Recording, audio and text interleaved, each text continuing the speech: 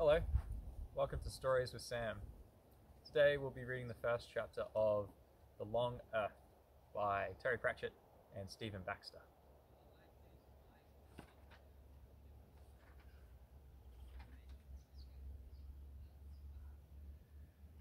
Chapter 1 In a Forest Glade. Private Percy woke up to birdsong. It was a long time since he had heard birdsong. The guns saw to that. For a while he was content to lie there in the blissful quiet. Although he was slightly worried, in a concussed kind of way, why he was lying in damp though fragrant grass and not on his bedroll. Ah yes, fragrant grass. There hadn't been much fragrance where he'd just been. Cordite, hot oil, burned flesh, and the stink of unwashed men. That was what he was used to. He wondered if he was dead. After all, it had been a fearsome bombardment. Well, if he was dead, then this would do for a heaven, after the hell of noise and screams and mud. And if it wasn't heaven, then his sergeant would be giving him a kicking, pulling him up, looking him over, and sending him down to the mess for a cup of tea and a wad. But there was no sergeant, and no noise except the bird song in the trees. And, as dawnlight seeped across the sky, he wondered, what trees? When he had last seen a tree that was even vaguely in the shape of a tree, let alone a tree with all its leaves, a tree not smashed to splinters by the shelling? And yet here were trees, lots of trees, a forest of trees. Private Percy was a practical and methodical young man, and therefore decided, in this dream, not to worry about trees. Trees had never tried to kill him. He lay back and must have dozed off for a while, because when he opened his eyes again, it was full daylight, and he was thirsty. Daylight? But where? Well, France. It had to be France. Percy, Percy couldn't have blown, been blown very far by the shell that knocked him out. This still must be France. But here he was in woods where woods shouldn't be, and without the traditional sounds of France, such as the thunder of the guns and the screams of the men. It was all a conundrum, and Percy was dying for a drink of water. So he packed up his troubles in what remained of his old kit bag, in this ethereal, bird haunted silence, and reflected that there was some truth in the song. What was the use of worrying? It was really not worthwhile, not when you had just seen men evaporate like the dew of the morning. But as he stood up, he felt that familiar ache in his left leg, deep in the bone, the relic of a wound that hadn't been enough to send him home, but had got him a cushier posting with the camouflage boys and a battered paint box in his kit bag. No dream this, if his leg still hurt. But he wasn't where he had been, that was for sure.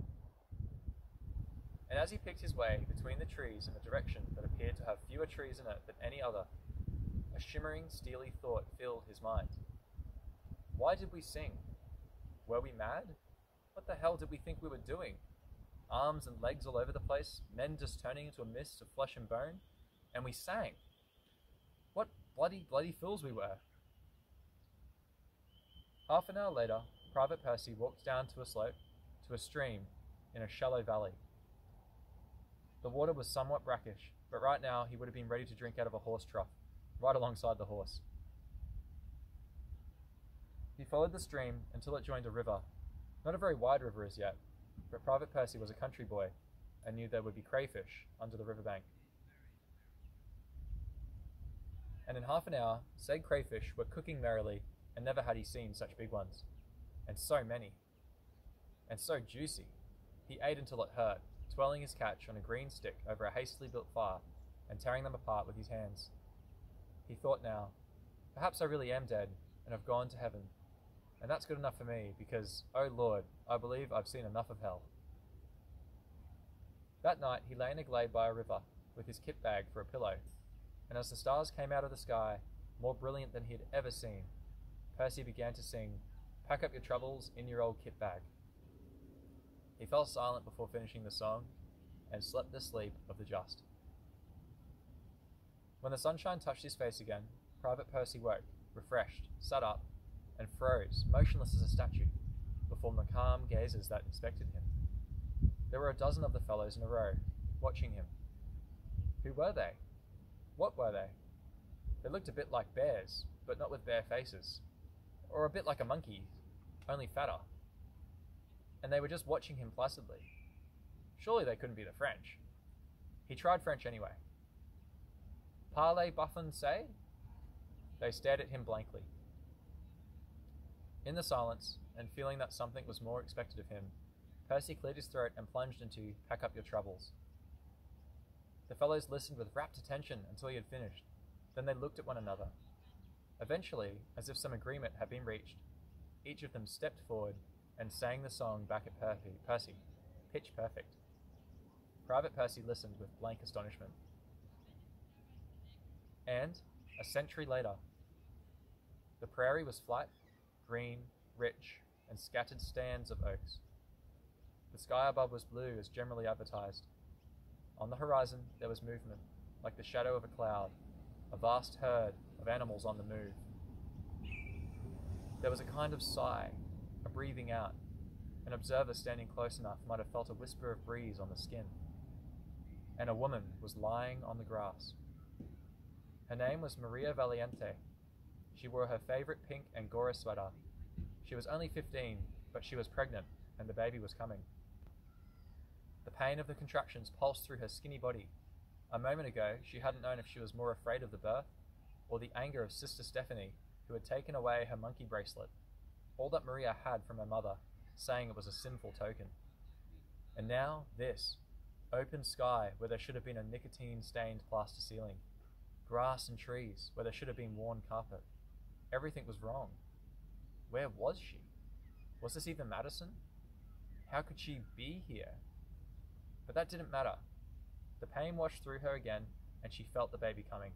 There was nobody to help, not even Sister Stephanie. She closed her eyes and screamed and pushed. The baby spilled onto the grass. Maria knew enough to wait for the afterbirth. When it was done, there was warm mess between her legs and a baby covered in sticky, bloody stuff. It, he, opened his mouth and let out a thin wail. There was a sound like thunder from far away, a roar like you'd hear in a zoo, like a lion. A lion! Maria screamed again, this time in fear. The scream was cut off, as if by a switch. Maria was gone. The baby was alone. Alone except for the universe, which poured in and spoke to him with an infinity of voices, and behind it all, a vast silence. His crying settled to a gurgle. The silence was comforting. There was a kind of sigh, a breathing out. Maria was back in the green, under the blue sky. She sat up and looked around in panic. Her face was grey, she was losing a lot of blood, but her baby was here. She scooped up the baby and the afterbirth. She hadn't even tied off the cord, wrapped him in her Angora sweater, and cradled him in her arms. His little face was oddly calm. She thought she'd lost him. Joshua, she said, your name is Joshua Valiente. A soft pop, and then they were gone. On the plain, nothing remained but a drying mess of blood and bodily fluids, and the grass and the sky.